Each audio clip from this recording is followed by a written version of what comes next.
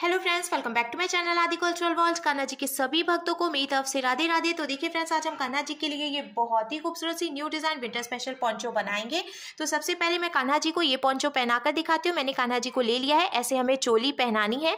और फिर ये जो हमने डिज़ाइन बनाई है, इसमें से हम कान्हा जी का हाथ बाहर निकाल लेंगे। इस तरीके से।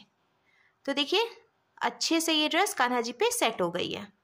तो देखिए फ्रेंड्स मैंने कान्हा जी को ये सुंदर सी ड्रेस बनाई है और आप देख सकते हैं हमारे कान्हा जी इस ड्रेस को पहनकर कितने अच्छे लग रहे हैं। इसका लुक बहुत अच्छा है और मैंने एकदम सिंपल तरीके से ये ड्रेस बनाना और कान्हा जी को पहनाना भी बताया है। तो प्लीज़ वीडियो को लास्ट तक देखिएगा जिससे कि आप भी आसानी से ये ड्रेस बनाकर कान्हा जी को पहना सकेंगे। अगर आप ड्रेस से रिलेटेड या फिर वीडियो से रिलेटेड कोई नॉलेज चाहते हैं या फिर कोई क्वेश्चन पूछना चाहते हैं तो मुझे मेरे इंस्टाग्राम पर पूछ सकते हैं। मेरा इंस्टाग्राम हैंडल है Aadi cultural world two six eight. साथ ही साथ मुझे फॉलो भी करें। तो चलिए फ्रेंड्स अब हम ये बहुत ही खूबसूरत सी कान्हा जी की new design winter special dress बनाना शुरू करते हैं। इसके पहले अगर आपने अब तक मेरे चैनल को सब्सक्राइब नहीं किया है तो प्लीज़ मेरे चैनल को सब्सक्राइब करिए, साथ ही साथ बेल आइकन भी प्रेस करिए, जिससे मेरे आने वाली वीडियोस की नोटिफिकेशन आपको सबसे पहले मिले। ड्रेस बनाने के लिए मैंने देखिए ये क्रीम कलर का ऊन ले लिया है और साथ ही साथ मैंने ये दस नंबर की क्रोशिया ली है। आप दस और ग्यारह में से कोई भी क्रोशिया यूज़ कर सकते हैं। अब हमें इस तरीके से एक लूप बनाना है और लूप के अंदर हम क्रोशिया डालेंगे। फिर क्रोशिया में उनको लेकर लूप में से निकालेंगे और खींच के इसको टाइट कर लेंगे। देखिए ये लॉक हो गया।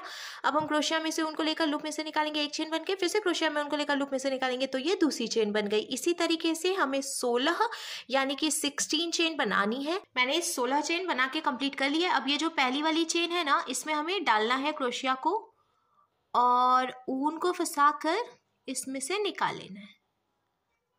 दो फंदे हो गए, इस फंदे को इसमें से निकालकर स्लिप स्टिच लगाएँगे। अब देखिए, ये पूरा सर्कल कंप्लीट हो गया है। ज्वाइंट करने के बाद अब हमें दो चेन बनानी है, एक और ये दो। फिर इसके बाद वाली चेन में हम क्रोशिया डालकर उनको फंसाकर निकालेंगे। दो फंदे हुए क्रोशिया में उनको लेकर दोनों फंदों से निकालेंगे ये सिंगल क्रोशिया बन गई। फिर इसके बाद वाली चेन में भी क्रोशिया डालकर उनको फंसाकर निकालेंगे। दो फंदे हुए क्रोशिया में उनको लेकर दोनों फंदों से निकाल लेंगे। इसी तरीके से हमें हर एक चेन में से एक एक बार सिंगल क्रोशिया बनाते हुए ये पूरी लाइन बीन के कंप्लीट कर लेनी है। हर एक चेन में से एक एक बार सिंगल क्रोशिया बनाते हुए पूरी लाइन कंप्लीट करने के बाद, अब देखिए शुरू में हमने जो दो चेन बनाई थी, उसकी पहली वाली चेन में हम क्रोशिया डालकर उनको फंसाकर निकालेंगे। दो फंदे हुए, इसको इसमें से निकालकर स्लिप स्टिच लगाएँगे, जिससे कि अब ये पूरा सर्कल कंप्लीट हो गया है। अब हमें फिर से दो चेन बनानी है और क्रोशिया में उनको लेकर जहाँ से हमने दो चेन बनाई, उसी में क्रोशिया डालकर उनको फंसाकर निकालेंगे। तीन फंदे हुए क्रोशिया में उनको लेकर तीनों फंदों से निकालेंगे। तो इस तरीके से दो हाफ़ डबल क्रोशिया हो गई, क्योंकि जो दो चेन बनाई थी हमने, उसको भी हम एक हाफ़ डबल क्रोशिया ही मानेंगे। फिर से हम क्रोशिया में उनको लेंगे इसके बाद वाली चेन में क्रोशिया डालकर उनको फंसाकर निकालेंगे, तीन फंदे हुए। क्रोशिया में उनको लेकर तीनों फंदों से निकालेंगे। फिर से क्रोशिया में उनको लेंगे, इसी चेन में क्रोशिया डालकर उनको फंसाकर निकालेंगे, तीन फंदे हुए। क्रोशिया में उनको लेकर तीनों फंदों से निकाल लेंगे अब ऐसे ही हमें हर एक चेन में से दो दो बार हाफ़ डबल क्रोशिया बनाते हुए ये पूरी लाइन बीन के कंप्लीट कर लेनी है।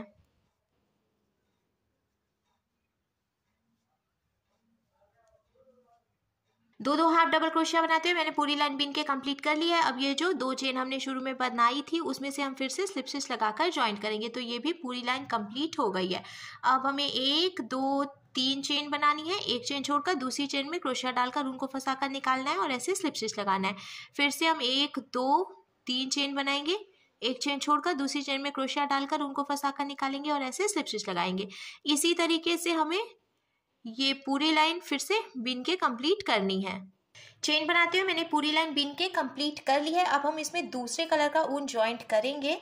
तो मैंने ये ग्रीन कलर का ऊन ले लिया है। आप कोई भी ऊन ले सकते हैं।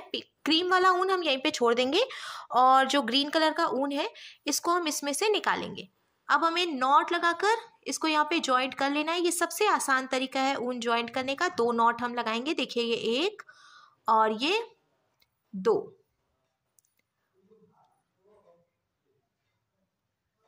नॉट लगाने के बाद थोड़ी सी जगह छोड़ते हुए एक्स्ट्रा ऊन हम कट करेंगे। और अब जहाँ से हमने ऊन ज्वाइंट किया है, वहीं से देखिए हम फिर से क्रोशिया डालकर और ये ग्रीन वाला ऊन इसमें से निकाल लेंगे। क्रीम वाला ऊन मैंने यहीं पे छोड़ दिया है, इसको हमें अभी नहीं यूज़ करना है। अब हमें एक, दो दो चेन बनानी है। और ये जो हमने देखिए, बनाई थी ना तीन चेन तो हम क्रोशिया में उनको लेकर इसमें डालेंगे क्रोशिया को, उनको फंसा कर निकालेंगे तीन फंदे हुए, क्रोशिया में उनको लेकर दो फंदों से निकालेंगे, दो फंदे बचे, क्रोशिया में उनको लेकर बचे हुए दो फंदों से निकालेंगे। तो ये डबल क्रोशिया बन गए, फिर से क्रोशिया में उनको लेंगे, इसी में क्रोशिया डालकर उनको फंसा कर निकालेंगे तीन फंदे हुए क्रोशिया में उनको लेकर दो फंदों से निकालेंगे, दो फंदे बचे तो क्रोशिया में उनको लेकर बचे हुए दो फंदों से निकाल लेंगे। इसको हम डबल क्रोशिया कहते हैं तो हर एक चेन में से हमें टोटल चार डबल क्रोशिया बनानी है। तो ये तीन बनी है और देखिए ये चार। हो गया, फिर से हम क्रोशिया में उनको लेंगे। यहाँ पे फिर से तीन चेन की गैपिंग है। इसमें से हम चार डबल क्रोशिया बनाएँगे। तो ये एक, ये देखिए, यहाँ से डाल रहे हैं हम क्रोशिया ये दो, ये तीन और ये चार, हो गया? ऐसे ही ये जो तीन चेन की हमने गैपिंग दी है, इसमें से चार चार डबल क्रोशिया बनाते हुए हमें ये पूरी लाइन बीन के कंप्लीट करनी है। हर एक चेन में से मैंने देखिए चार चार डबल क्रोशिया बनाते हुए पूरी लाइन बीन के कंप्लीट कर लिया है। अब हम क्या करेंगे? लास्ट में हम इसको भी स्लिप स्टिच लगाकर और फिर ये सर्कल कंप्लीट करेंगे। अब देखिए इसका लुक कुछ ऐसे आ जाएगा। फिर से हमें एक, दो, तीन चेन बनानी है। एक चेन छोड़कर दूसरी चेन में से स्लिप स्टिच लगाकर ज्वाइंट कर लेना है। फिर हम एक, दो, तीन चेन बनाएँगे और एक चेन छोड़कर दूसरी चेन में से स्लिप स्टिच लगाकर ज्वाइंट करेंगे। इसी तरीके से हमें तीन तीन चेन बनाते हुए पूरा सर्कल कंप्लीट करना है। चेन बनाकर मैंने देखिए पूरी लाइन बीन के कंप्लीट कर लिया। अब ये जो ग्रीन वाला ऊन है ना, इसको हम यहीं पे लॉक करके कट कर लेंगे क्योंकि इसका कोई काम नहीं है। तो ये जो एक फंदा बचा है, इसमें से हम एक चेन बनाकर ढीला करेंगे। ढीला करने के बाद यहाँ से एक्स्ट्रा ऊन कट कर लेंगे। तो देखिए ये लॉक हो गया। लॉक करने के बाद अब ये जो क्रीम कलर का ऊन हमने छोड़ा था तो जहाँ से हमने लॉक किया, उसी चेन में हम फिर से क्रोशिया डालेंगे और ये क्रीम कलर का ऊन इसमें से निकाल लेंगे। फिर से हमें एक, दो, तीन तीन चेन बनानी है और देखिए ये जो हमने पहले तीन चेन बनाई थी, इसके सेंटर में यहाँ से हम डालेंगे क्रोशिया को और उनको फंसा कर निकालेंगे और स्लिप स्टिच लगाएँगे। फिर से एक, दो तीन चेन बनाएँगे और देखिए, ये जो हमने तीन चेन बनाई है तो यहाँ जो गैपिंग है, यहाँ से डालेंगे क्रोशिया को, उनको फंसा कर निकालेंगे और ऐसे स्लिप स्टिच लगा लेंगे। तो इसका डिज़ाइन कुछ ऐसे बन जाएगा। फिर से हमें एक, दो, तीन चेन बनानी है और यहाँ पे सेंटर में स्लिप स्टिच लगाना है। एक, दो, तीन और ये सेंटर में स्लिप स्टिच इसी तरीके से बीनते हुए हमें ये पूरा सर्कल कंप्लीट करना है और लास्ट में ये जो क्रीम कलर का ऊन है, इसको भी हम लॉक करके कट कर लेंगे। तो देखिए फ्रेंड्स मैंने पूरी लाइन बीन के कंप्लीट कर लिया साथ ही साथ लॉक भी कर लिया अब हम कान्हा जी के लिए कैप बनाएँगे। तो कैप बनाने के लिए ये देखिए, जहाँ से हमने लॉक किया, उसकी एकदम सीधाई में ये सेंटर है।